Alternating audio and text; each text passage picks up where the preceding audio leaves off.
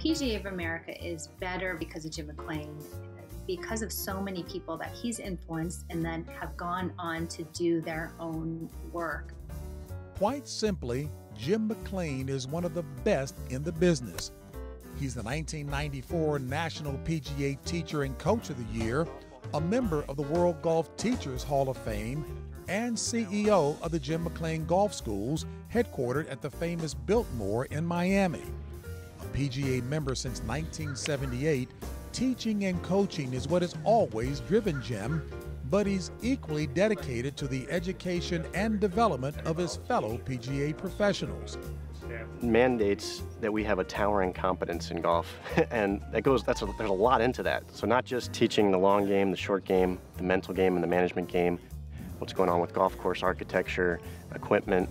There's so much that we have to stay on top of to live up to his expectations.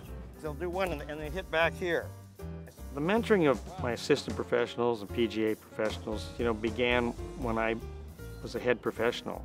For the indoor portion, I'm, I'm turning over to Glenn Farnsworth. The knowledge he has shared with the, the books, the videos, we've mentored over 300 assistants who have gone on to great clubs as instructors or head professionals, director of golf, and it, it's just a snowball effect. Monday mornings at 7:30, the entire staff piles into a room and we have an hour and a half meeting. This really was meant to better us. These meetings were meant to challenge us, to make us think, to help us share ideas, to help us come up with different ways of doing things so that we weren't just on an island teaching what we think. I try to get people to, uh, you know, what it's going to take for them to be a top teacher or go to a great club, what it's going to take. And they're going to have to be extra, extra good. They're going to have to be special to to ex excel in the PGA.